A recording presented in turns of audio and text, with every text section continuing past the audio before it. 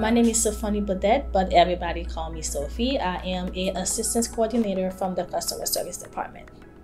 My normal day in the morning when I come in, I make coffee for everybody. And after that, I go to my desk, I log into the system, and I check the inboxes to see what urgent emails we do have in the morning.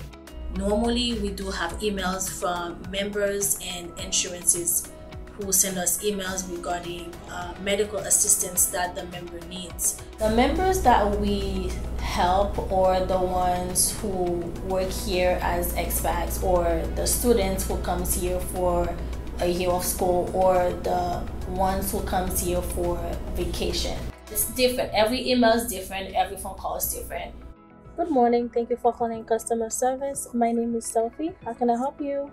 On a day, I can take about 20 calls, 20 or 25. It depends. So if we do get a phone call from the provider asking for the member's benefits, and of course they don't have the insurance card, and they actually some of them will need proof that the member is covered or if the policy is active the member is covered policy effective date is january 1st 2020 and is still active the member has no copay no deductible further treatment requires authorization we also assist with air ambulance let's say the member's injured while on vacation like they break the leg or the back and the member's insurance company wants to send them back home for further treatment, we'll also deal with that as well.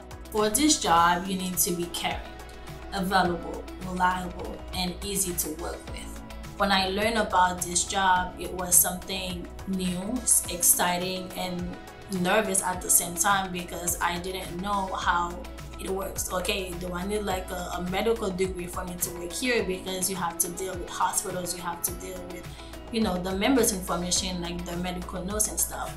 But you have the right trainer to teach you how to do the job. Once you meet the right person at the right company, everything will be easy for you at the end.